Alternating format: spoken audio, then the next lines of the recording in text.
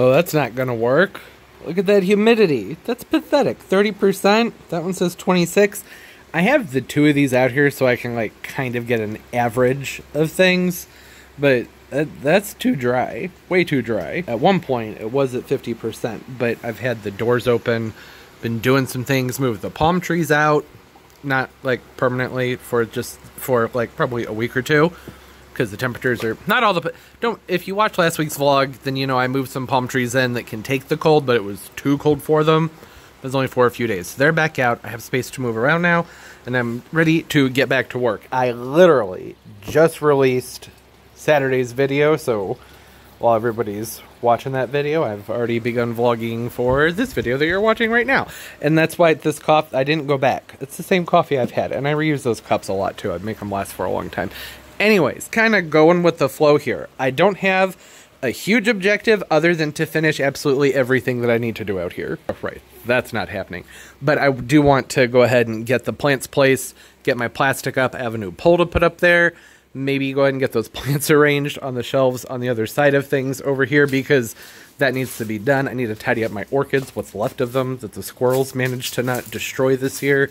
And so, yeah, I need to handle things before I can put the plastic up. The plastic needs to go up to help hold in that humidity. That's why things started the way they did, like, what, a minute and a half ago? Just now got to the point. I'm having a lot of trouble keeping things hydrated with this extremely dry air, and now the temperatures are warmer. I keep things, like, in the upper 70s to mid 80s in here, and that...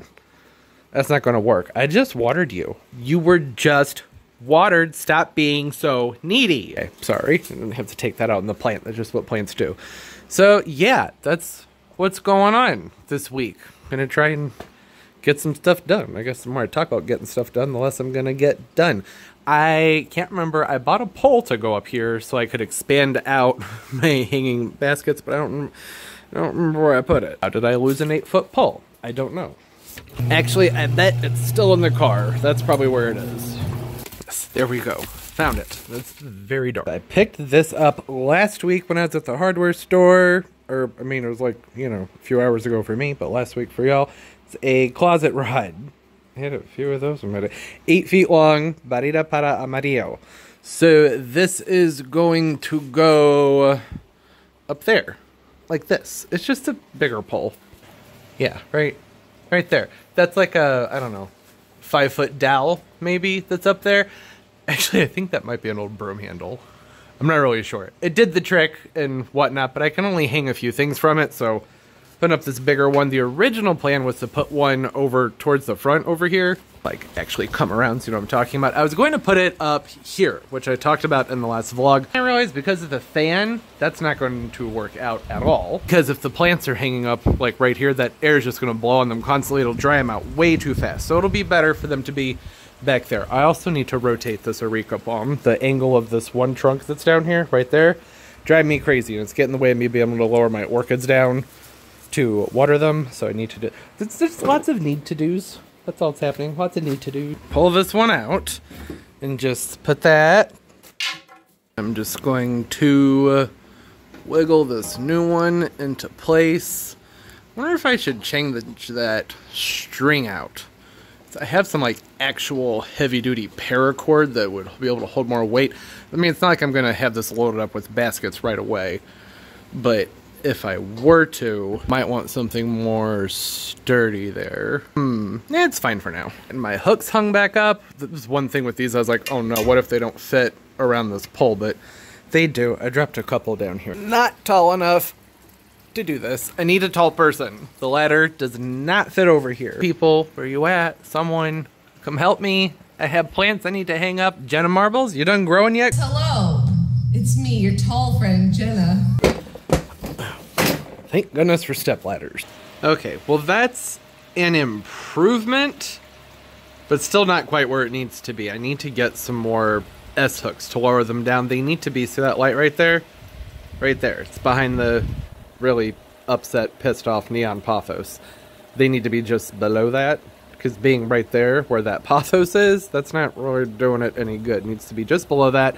So yeah, more S-hooks. But the poles up, I was able to get several more plants up there. I still have two. I had to look down. I have two hanging baskets still need to go up there. One of those being the Yesenia, Yesenia, which I picked up last week, and then I have a uh, Cebu Blue, uh, another Cebu Blue, but I think I may not put that one up there. That's something I gotta think about. But either way, I need to get more S hooks. Not a big deal. I could make them with like wire hangers, but I don't have any wire hangers. I've done that before and it was pretty easy. And even like just some heavy gauge wire, which I have some of, but I'd rather not use it for this. I need it for something else. And I also, in the meantime, gave my orchids a good soak. This Vanda is just so lovely. You can't see it though. Hold on. You know, I always have to get the things going with the lights. There we, well, kind of. It's a slight improvement. Such a pretty Vanda. Beautiful flowers. I love the tessellation. That's the veining in there. Makes me so happy. It doesn't have a name on it. Would you behave? That light wants to go other places. It did have some Bud Blast on it but that's not really shocking considering that it was outside and then it got cold and then it got moved inside and it was warm. Lots of changes, and that can be a big factor with the uh, bud blasting and losing flower buds when there's a lot of temperature shifts and whatnot. But yeah, still very happy with these blooms, and they've been on this plant for a very long time too. This one started blooming, I don't know, maybe a month ago, and it's still going and looking great. This, I was going to save this until the end of the video. I'll pick up with the rest of the things that are budding and blooming at the end of the video. I got to get back to work. And it's just, it's too, the lights, it's too much. That's one of three I have shining in my face right now. Can't help it. I just get so distracted by pretty things. What am I to do?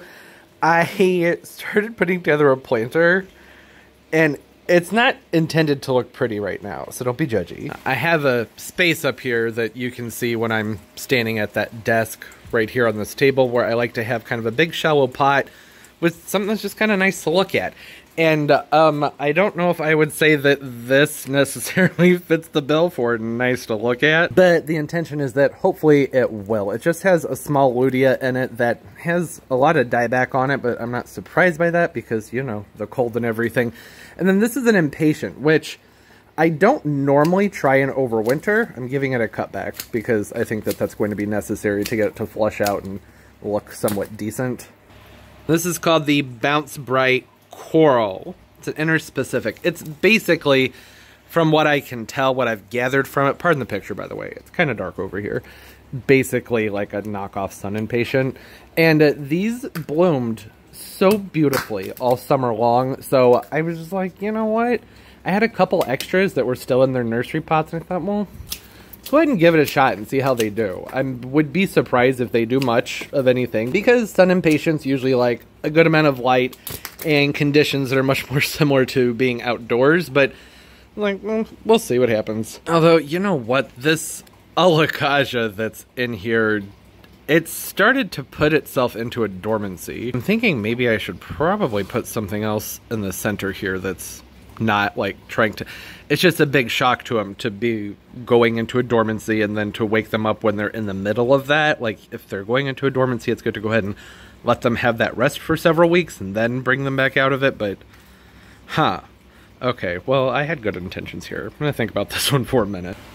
You know uh, i have these brazilian fireworks down here. That's Porphyrocoma pohliana i believe these are fantastic plants. Move that Tillandsia out of the way, get a better look at them. But they bloom fairly profusely throughout the year. I mean, right now they're kind of resting, as you can see. Not the fastest grower. I've had this one right here for several years, and it hasn't done a ton, but I also haven't done much with it because it's just kind of been one of those plants that's just like down. It's like, hey, you know what? I'm good. Like, I'm going to do my thing. So this would be, I'm not going to pull it out of here because I've had it in this pot for such a long time, even when I repotted these Areca palms in the spring. I still kept it in here, kept it in the exact same spot.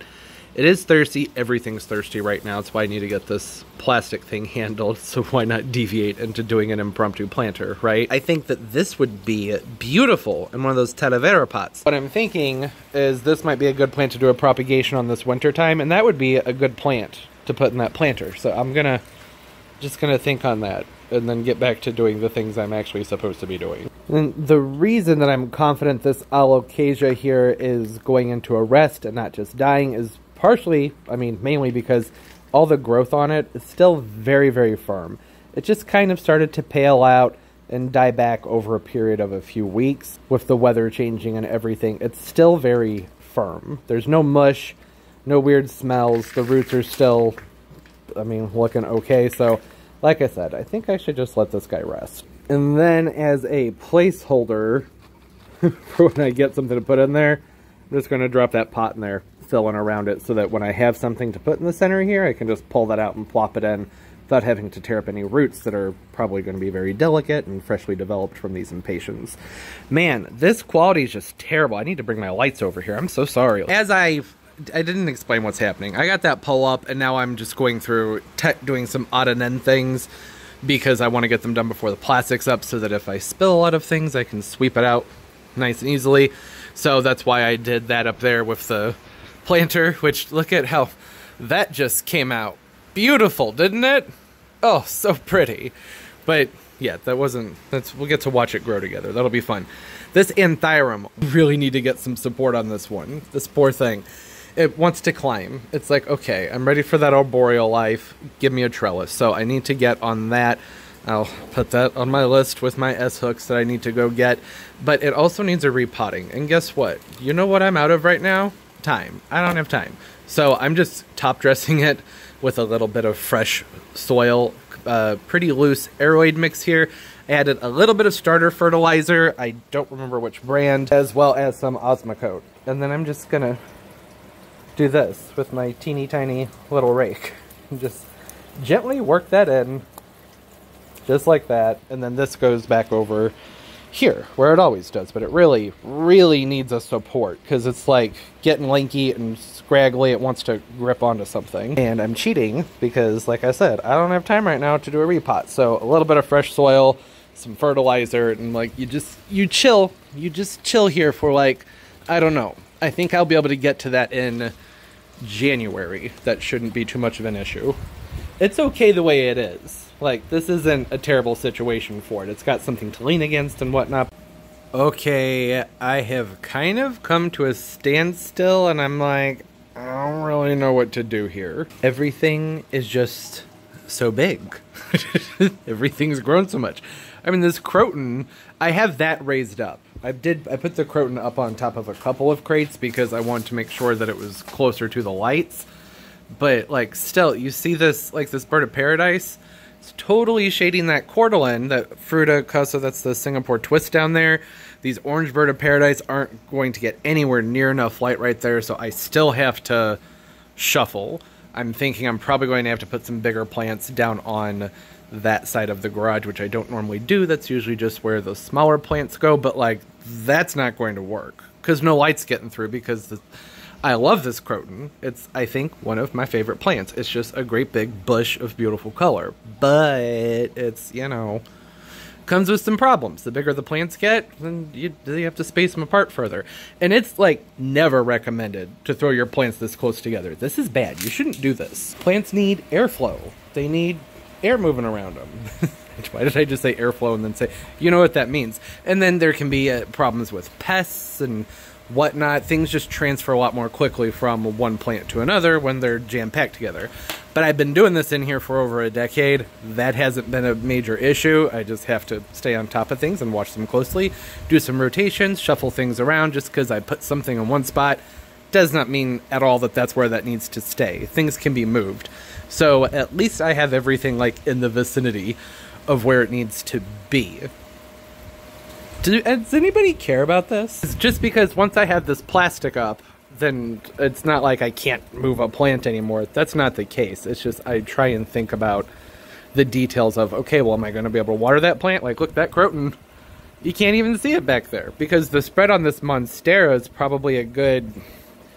I don't know. It's big, really big, and I need to pull it back up onto that support. That's going to be a project that happens this winter, getting it repotted and staked up and everything. But I need to like, look at how tall that croton is. And yes, it's on top of a couple of crates, but at least I know the top of it is getting good light. So that's good, because I've talked before about how sometimes with the crotons, I bring them in and they just throw a fit and drop their foliage, but I did, I brought them in before it got super, super cold out this year. I mean, kind of better than I have in other years, and then this one back here, it's been okay so far. I don't want to jinx it. So far, it's been doing okay. Been kind of thirsty because that mix that it's in in its pot drains a little bit too quickly. So I have to water it frequently. But that's the whole point of all of this is to get that plastic up so that the humidity can stay up so that I don't have to water constantly. You can see on here the lowest humidity point was 25%. Mean, that's pathetic. And that's partially because outdoors this time of year, like pretty much now through April, the humidity is pretty low.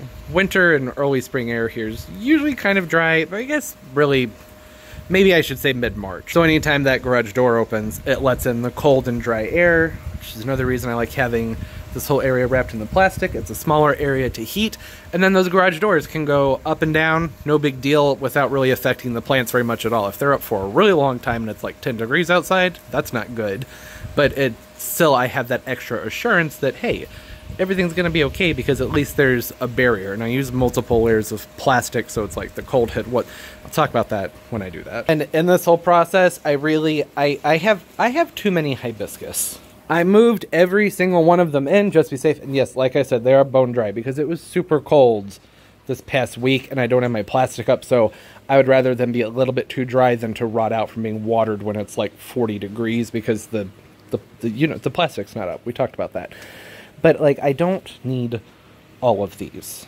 There's only a few that I'm attached to. There's the uh, the name is Sex on the Beach. I didn't name it. Don't come for me for that one. And then uh, Chatty Cathy, the old one with the pink center my Seminole Pink, and then the one that doesn't have a name, but I showed it a lot over the summer. And that's the one I just showed you before. I don't need to keep all these other ones that I'm not even attached to. Oh, hi, hi, I was looking for you, because I knew I hadn't cleaned this one out yet. Like to try, I'm trying to get all of the debris out of the pots before the plastic's up. Because it's just really hard to get in there and sweep, you know, when there's a whole entire wall there to get through. And almost forgot about this heliconia too. Trying to get all that stuff picked out of there. This is my Hirsuta, which I think is probably my favorite of the heliconias. Not necessarily because of its flowers, but these are tough, sturdy heliconias. A lot of the Psittacorums are a lot more tricky to overwinter. They like a lot of heat. And the Hirsuta is a heat-loving heliconia, but this growth right here, that's just since I brought it inside a couple weeks ago. And I just kind of took this one and stuck it in a corner until I was ready to get to it because I was like, even if this one dies back, I can move it back into the light and the heat, give it a good watering, it'll bounce back for me. So it was one of those plants where I was like, you're, you're a tough one. You're just going to chill for a minute somewhere else for me. But that's, if anybody's into the heliconias, I really like this. It's Heliconia hirsuta. I think this variety is called Costa Flores, but I've never seen anything that talks about what the difference is. And you can see there's a little bit of cold damage. They don't like cold. Most heliconias really do not do well with any cold, but it's still like doing its thing. It's like, I don't care. Yeah, go ahead and give me some frost. I'm still going to keep growing. I like that. That's my kind of plant. Tough. Okay, and then also going to drop this reflex over here because again, some cold damage. It can take a few weeks for cold damage to show, so when we had cooler temperatures, I was like, oh, it's fine. It didn't seem to be bothered at all. And then, you know, a couple weeks later, you get those tips on. But it's okay. As long as the center is okay, it's not discolored or anything, then the plant's okay. It'll keep going out with that monopodial growth. It uh, This one never saw any frost. So it's a little bit strange, but there were a few dips into the upper 30s, and sometimes that's all it takes, especially if there's a lot of wind. But this whole area over here, whole side over here is very warm. This is like the warmest side of things. So that's where I want things that need some time to recover. Like this, needs some recovery time. It's going to want more heat. The heliconia is going to do a lot better over here with the heat. The uh, philodendrons, the monstera. The monstera will be fine, like regardless, as long as it doesn't get overwatered. It's not too cold, but just, you get what I'm saying. This is where I kind of keep the things that are warm lovers. And this is a uh, piece that broke off from a larger plant. It's the Cordyline fruticosa tiki. I think that's its name. It's the dwarf one. Stays really small, but I just stuck it in some soil there because, like, I don't like things are. There's enough going on. Don't need to be propagating things right now. Maybe in a week or two. So my filming table's full. So when I film videos, I'll just have to move all that stuff. That's not that big of a deal. Sort of thinking out loud here, going through the process together with y'all, making sure that everything is kind of where it needs to be. Like I said, like this, that's not a dire emergency. That didn't have to be done right now. But by moving just a few of those plants, I made room for other things that would make more sense to have over where it's a little bit more cool. Holy freaking drama queen. I shouldn't be playing with this right now. I just watered this zebra plant yesterday. And that's how you know it's time to repot something. That's that's a bit much. So I'm gonna let that soak for quite a while. Whatever perks up will perk up, and then that that is on the top of the list for repotting because that that's too much. If you're gonna need to be watered twice a day, I don't have time for you. That's high maintenance. Uh-uh. Poor thing. I'm so sorry. Did just get watered yesterday though. With the low humidity, things should dry out so quickly. It'll be okay. that was fun. Let me just show you everything that's just dying. Not really. Actually, I haven't lost anything yet, but I think I'm to the point where it's time to go to the hardware store. I need to get some S hooks. Well, I need to get two types. I need to get the S hooks to hang the baskets up and teeny tiny little S hooks so that I can attach my plastic to the chain that's up there. Oh, fun story. And I need to cut my fingernails because for some reason they're growing like insanity, like twice a week. Hey guys, how you doing? I don't why can't I stop myself from looking at the plants when I'm here? I was just here. I mean, y'all, did you see last week's vlog? I've been here a lot. I know what they have, but then I see all the pretty little things on the shelves and I get ideas and it's dumb. Just can't stop myself. Not getting anything though. There's nothing to get. I'm trying to make room for things. Although, I mean, I have plenty of space for all of the small plants that's not an issue. It's just I got a few big ones that are making things a little bit more difficult.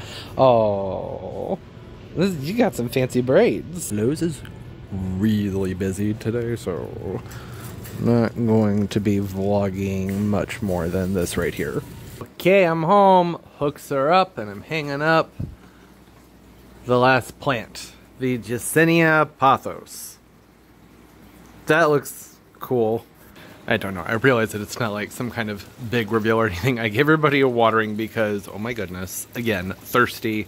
They got so thirsty. When, like I said, when it's so cold outside like it has been and that plastic's not up, I just kind of let them dry out a little bit more than I normally would because then they don't, I don't have to, what is it? Rot. I don't have to worry about them rotting.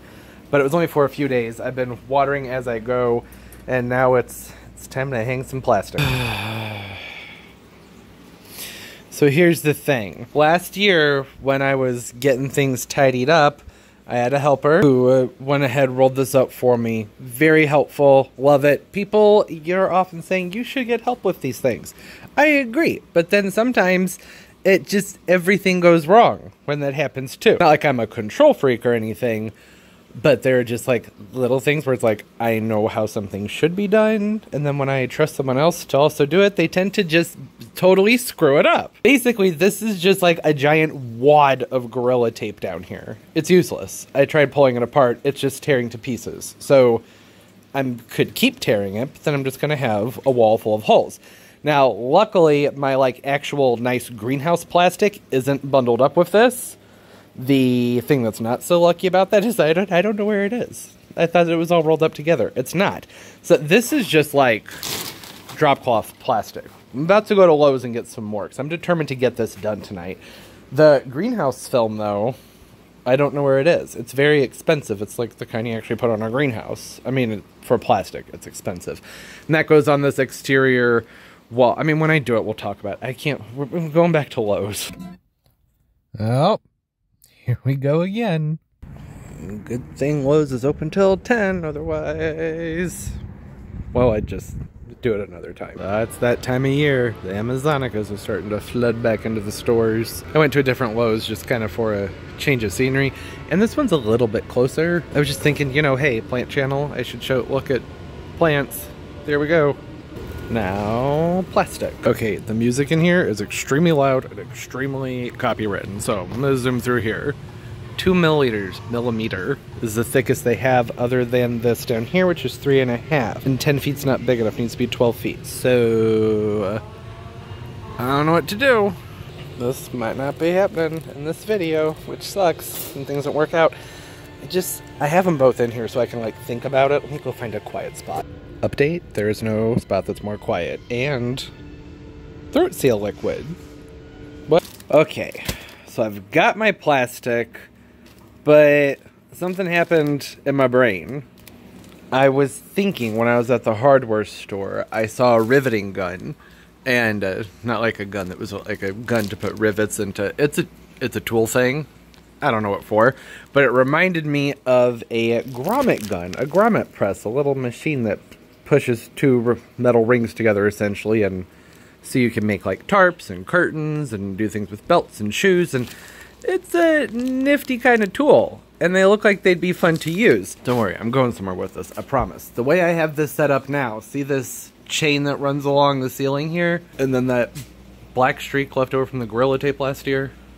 When I first started doing this in my garage several years ago, I just used the materials I had, which was this really thin chain here. Don't know why, don't know what that's from and why I had it, but I did and then uh, you know I had a bunch of S hooks. So I was like, okay, let me go ahead, take this plastic that I have. I had tons of plastic at the time because I used to keep a lot of my palm trees outside all winter, and I would wrap them up, build little greenhouses around them. I don't do that anymore; it's just too much work. I was hoping to have a better visual aid for this, but what I then did is I just made a little cut in the plastic, just a tiny little cut and then I put duct tape on each side and then made a hole through that. That way I could put an S hook in there. I could slide it right into that spot and the plastic wouldn't continue to tear. Make sense? Essentially like a cheapo grommet situation. The problem with doing it this way is one, it's a pain in the butt keeping up with those S hooks every single year. They tend to just go missing and it's sort of a pain hanging it up. It's not that bad but if I used grommets, that's what I did. Then I could go through here and put tiny little hooks up in the ceiling, like every, I don't know, six feet. Just little hooks. And then when it's time to put the plastic up, I'd have that grommet so I could just take it and set it right in there. I'd leave some plastic in the center of the plastic in the what am I trying to say? Typically when you're using grommets you punch a hole and then you put your grommet in. So what I would probably do is just not punch a hole and just make a little slit. So that way, because the main thing is I wouldn't want a lot of air escaping through. I'd be able to get the plastic higher up to the ceiling without having to tape it. Because the whole point of doing it this way was I didn't want to drill holes all over my ceiling. Then that happened with the Gorilla Tape, so oops. Won't make that mistake again, and won't need to if I do the. Essentially, what I'm getting at here is I'm gonna. I know just a few minutes ago I was like, I have to get this done. But I'm like, okay, but I could really uh, drastically improve on this, I think. Like, I could make some big changes to how I'm doing this that would make it both easier to set up and take down every year, and it would be more airtight up there and be a little bit more work. I think that's worth it, and it's supposed to be fairly warm over the next couple of weeks, like outdoors, so I don't have to worry about temperatures in here too much. It's just a humidity issue and even still, I mean, the humidity is at like 40 something percent right now, so it's not terrible. As long as the plants stay watered, the humidity is not too bad. It's when the plants dry out. If it gets super cold outside and I don't water in here as much, that the air just gets really, really dry. So, uh, yeah, I don't know. What are your thoughts? There are tons of ways that the plastic could be hung. I've thought about using tension wire. Once I even thought about putting a zipper all the way through so I could zip the whole thing up to the ceiling. And I was like, nah, that just seems like too much. I would need too much dexterity while being up that high. Seemed dangerous. I didn't want to do that. And um, but I think that this would be easy and fairly cheap. The little grommet tool, like the little, there's like a punch you use to put them with. Those aren't super cheap. There are cheap ones, but they have really bad reviews. And and you can't just use a hammer. I have tried that before though, and I'm not good at it. So I would rather use a tool. It's just I'm just brainstorming here and telling you that I don't think I'm going to put the plastic up. I, uh, I don't think so. Maybe I'll go ahead and throw just a thin layer up real quick. Just help hold some of that moisture in. But otherwise, I'm thinking the grommet thing might be the way to go as far as like a long term. This would make more sense. No more tape monster in the center of this. That's that was real bad. It's destroyed this entire thing.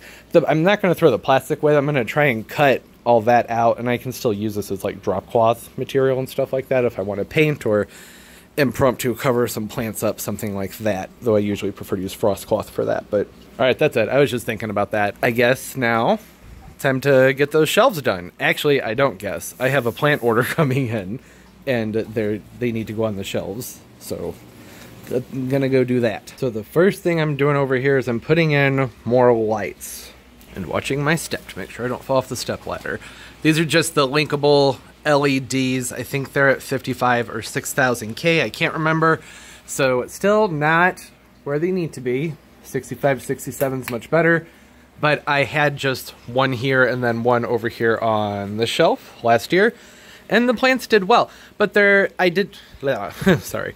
I did start to notice there is some etiolation happening on this Echeveria here. So I was like, okay, well, apparently one's not going to be enough. They don't use a ton of power. That one needs to be raised up a little bit. That looks a little bit wonky, but uh, very, very bright though.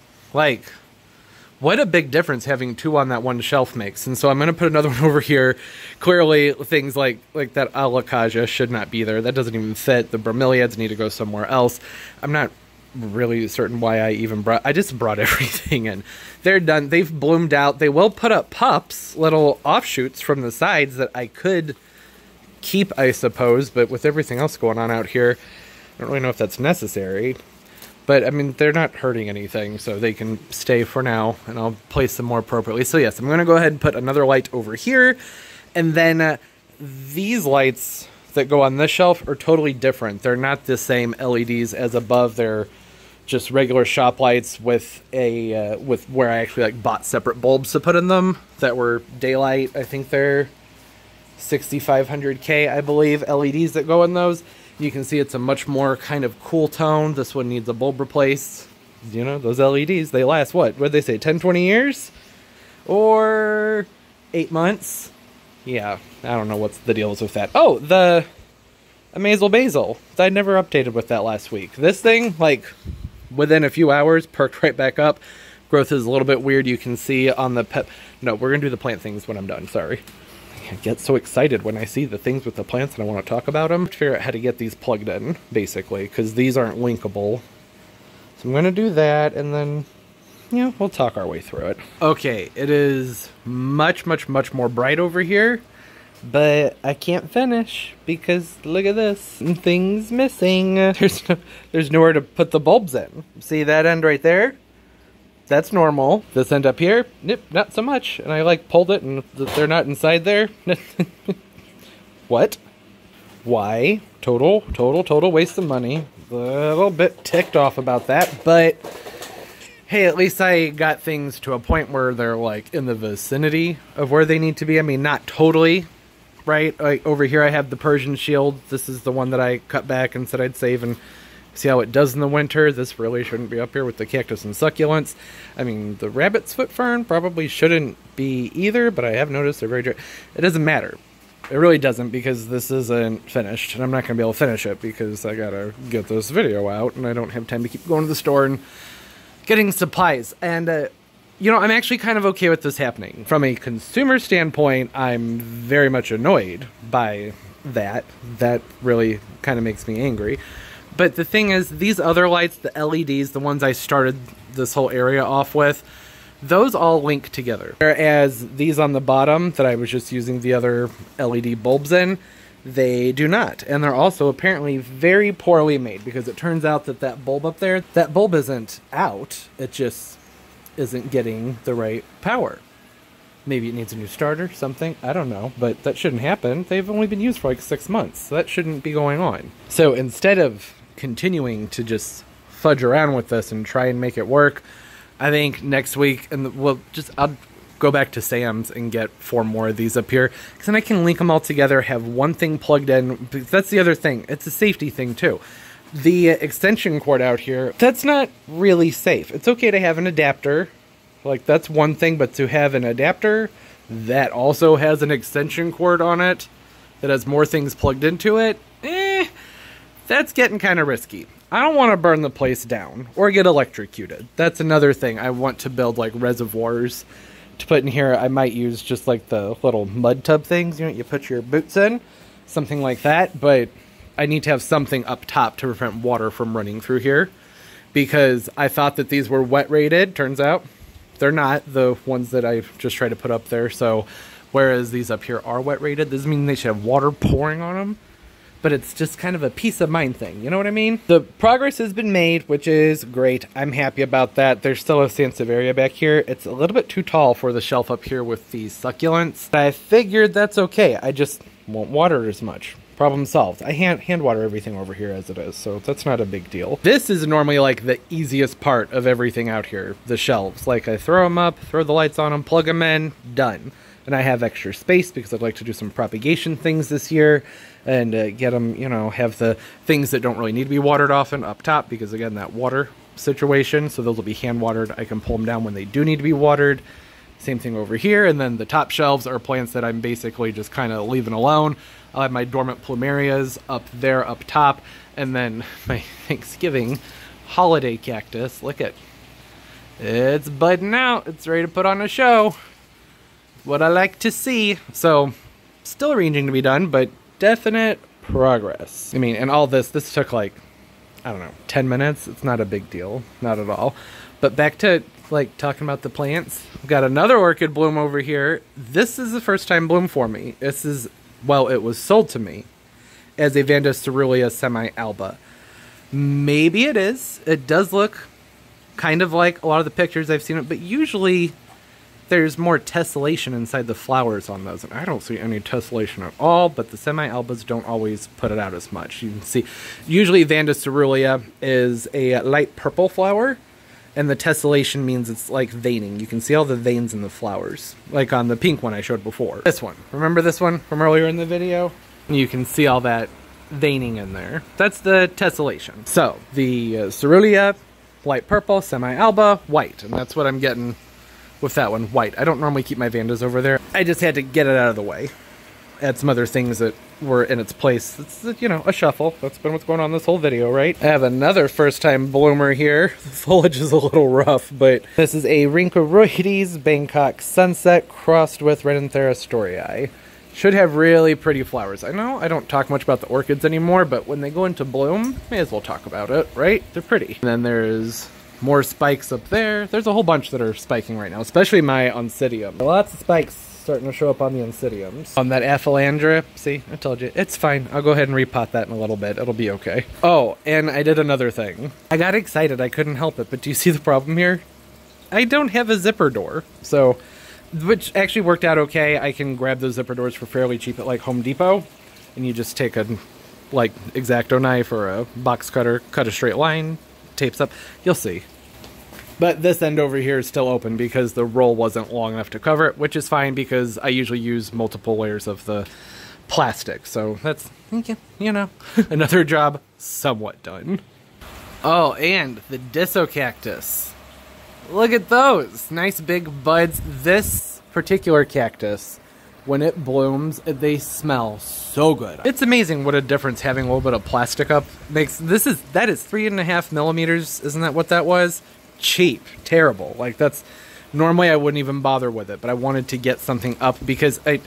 It's not just about holding in the humidity. I need to hold in some heat. It costs money to use space heaters, right? So that did make a very big difference, even though it's not wrapped all the way around. Still, I mean, 79 degrees and 55% humidity. That's pretty darn good. And once I had that plastic up, it, the main thing with it is having it up close to the ceiling, right? Because the heat rises. So having that sealed off makes a big difference, and then having a body of water helps hold in some of that heat and re-release it very, very slowly.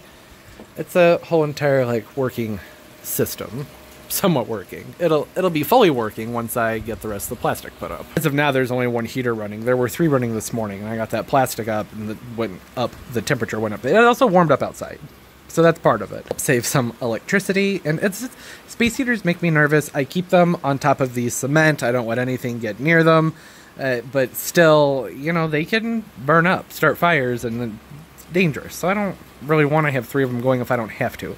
I usually only have to run all three of them when it's really, really dreadfully cold outside. And by dreadfully cold, I mean like below 20 Fahrenheit, something like that. And I feel my voice starting to go. So I'm going to wrap it up. Hope everybody's doing well. Thanks for hanging out. Another fun filled vlog of just you know, the things happening. I'm very happy with what I was able to get done, that's for sure. I mean, I got a lot done. And I'm happy to see that plants are already responding to being inside. And that doesn't look very impressive, but remember, it was just like sticks, and it's popping out and looking great. Uh, basil's growing. There's some fresh shoots coming out on that pepper. Don't look at that. That window needs to, you didn't see that. The window's fine. It's totally clean. Ficus seems happy. The alocasia are happy. The orchids are still kind of throwing a fit. I did away with my orchid stand. I was like, they're getting too big for it. And then I had a friend who was starting to really get into orchids, and I was like, hey, there's only a few I'm attached to. Take what you want because there's just too many. Like, I love my Vandas, these guys right here. I need to move that. Gotta remember to move that. But the others, there were only a few that I was like really attached to, and so I held on to those and got rid of the rest. And I'm sure I'll get more at some point, but it's like if I'm not crazy about the plant, it's like, all right, we had a good time together, now you can go. You know, after a while, if the plant's not really doing much for you, why hold on? I'd rather give that to somebody who's going to learn something from the plant and enjoy it and appreciate it and maybe get into orchids or plants. I think that's a great thing. And then, and oh, I was getting so sick of the squirrels. I'm gonna have to put my orchids inside of something like a netted cage or something next year because they just destroyed so many of them. I mean, they didn't destroy them. I keep trying to get that Sharry Baby in the shop back there. But they go in, they pull the mulch out. The small orchids, they just take them. They're just like, nah, mine. Yank. They take it. And I'm not growing my orchids for the squirrels. Absolutely not. So I'm just holding on to like the bigger ones and there's some sun damage on them, but lots of sheaths and spikes and you know, it's hard to have orchids that always look perfect, especially when you're moving them in and out of your house. Need to make a little bit more room over here for some of these alocasias, don't I? Fun would it be if, like, in one day everything was done and I just sit around and have nothing to do all winter? That's no fun. So I got the outline done. I hope everybody's doing well. Don't forget to leave the video a thumbs up. Makes a big difference for the videos and for the channel, and I thank you for it. And subscribe as well and hit that notification bell where you'll know when new videos come out. I have all my social media linked down below in the description of the video. I'm on Instagram way more than anything else. That's typically the best place to find me, usually Instagram. Peperomia flower alert. That weird little wormy flower. It's neat. Also, it kind of makes me feel weird. And of course, as always, and most importantly, everybody. Oh, no, no, no. Oh, I, I totally I forgot. How could I do that? You guys, I always hear back from everybody when you don't get to see the pets. How could I go an entire vlog without showing any of the pets? Let's just check in real quick. Um, hello? Hey, Tobes. Where is everybody? Oh, there she is. Baby girl, what's wrong? What's that face for? What's that face for, Pumpkin? Oh, okay. Bye-bye, Pumpkin. You good girl. And hello, Zaniel and Toby, right in my face. Good boy. Hey, Pumpkin. Roll over? Fucking roll over. No, you don't want to? Okay, bye, Pumpkin. Oh, and there's Tuck. You good boy. I'll come to you, Tucker. You don't have to come down here. I'll, I'll come to you. Good boy. I know, stairs are hard. We don't like stairs anymore, do we, Tucker? Good boy. Yeah, good boy. What a good boy, Tuck. That face. You so sweet. You such a sweet Tuck. Yes, you are. Good boy. Oh, my shadow. Hi, bite. Hey, sweetie. Been chewing on the palm tree? You been chewing on the palm tree at all? She hasn't. The other cat, though, he sits here. You can see it from downstairs in the family room. You can just see the palm tree shaking because he's always pulling on the fronds there. It's cold up here. Why is it so cold? Why don't you come downstairs? It's nice and warm down there. Should probably move this palm tree because have to do that every time you go downstairs. Ooh, package. What is that, Toby? What's out there? Tucker, why didn't you let me know? You didn't let me know. You could have let me know, Tuck. Why didn't you tell me there was a package here? Okay. Oh, coming down? You think you're going somewhere? And just knocking things over left and right. Good boy, Tuck. Good boy, Tuck. You're not going out there. Oh, finally getting the dishwasher fixed. Been waiting for the parts to come in for a few weeks. Okay, Tobes. Back to the outro. You know, wrap this whole thing up because I can feel myself getting into vlog mode, which doesn't make sense because I'm trying to end the vlog. I'm going to start one right after this, though. Next week, going to do the Christmas stuff around the house, a few more things in the garage, and then Vlogmas?